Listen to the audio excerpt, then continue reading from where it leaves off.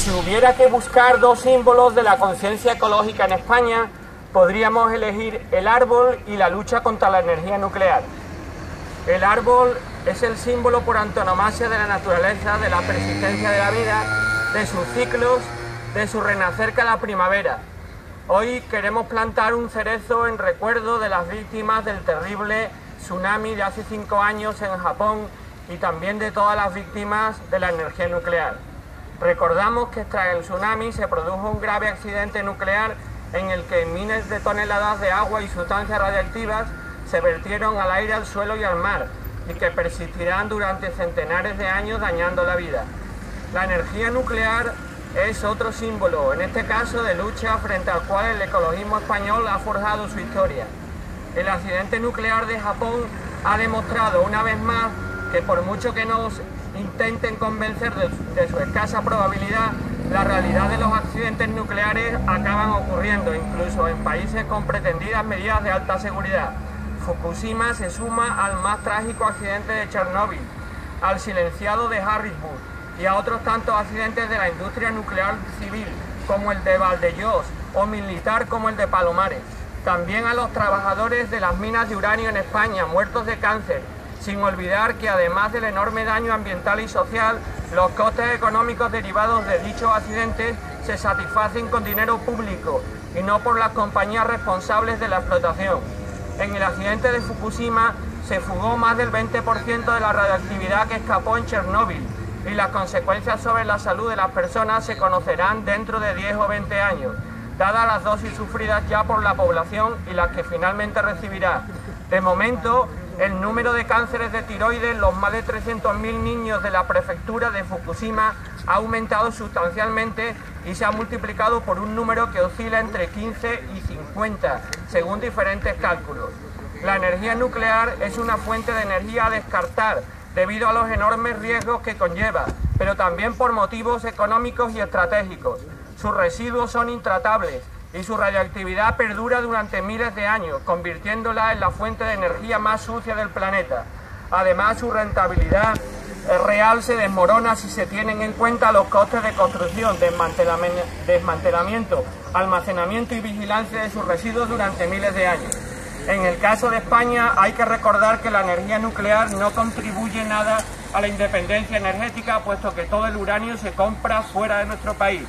Además, se han presentado propuestas rigurosas desde varias organizaciones ecologistas estatales que demuestran que España puede cerrar sus siete centrales nucleares en menos, de 10 años e incluso tener una producción de electricidad totalmente renovable en el 2020.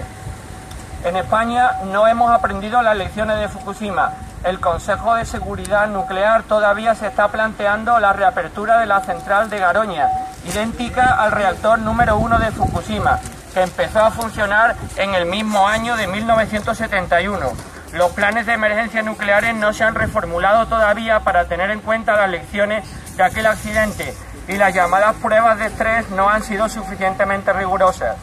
En Cádiz tenemos nuestras propias centrales nucleares flotantes, submarinos nucleares de Gran Bretaña y Estados Unidos, que con mucha frecuencia recalan en los puertos de Rota y Gibraltar.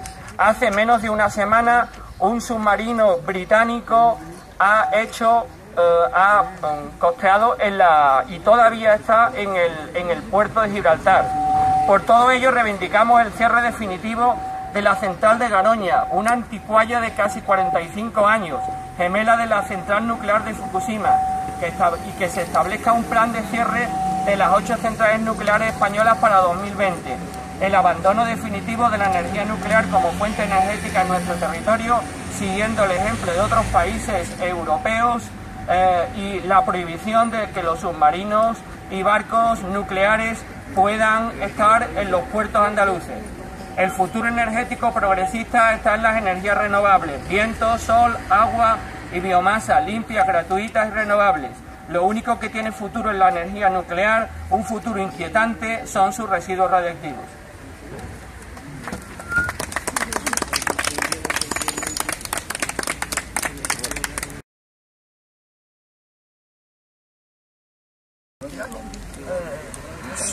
Buenos días, eh, soy japonesa, me llamo Kazuko Tsuru. eh, en Japón eh, ha recibido bomba atómica en la Segunda Guerra Mundial y todavía mucha gente sigue sufriendo problemas de mm, perdón cómo se llama problemas de radioactividad. Radioactividad. Y todavía está curando enfermedad y bueno Japón no tenía que tener centro nuclear pero capitalismo siempre quiere tener empresa y quiere tener más economía, energía. Entonces mm, ha tenido centro nuclear y ha tenido accidente. no, no sabíamos nadie iba a ocurrir este problema. Y ha tenido más problemas que Segunda Guerra Mundial. Y ahora, más peligroso que antes. Y muchos niños, mucha gente está sufriendo y ha, pasado cinco años y todavía hay zonas que no se puede entrar, no se puede vivir, no hay nada y, ni crece hierba. Vamos, eh, yo lo he visto en televisión antes de ayer, increíble. Sigue haciendo, bueno, teniendo muy peligroso. Bueno, que perdona que yo no hablo bien, pero debe tener centro nuclear ningún lado, ningún lado, por favor. Gracias. Gracias.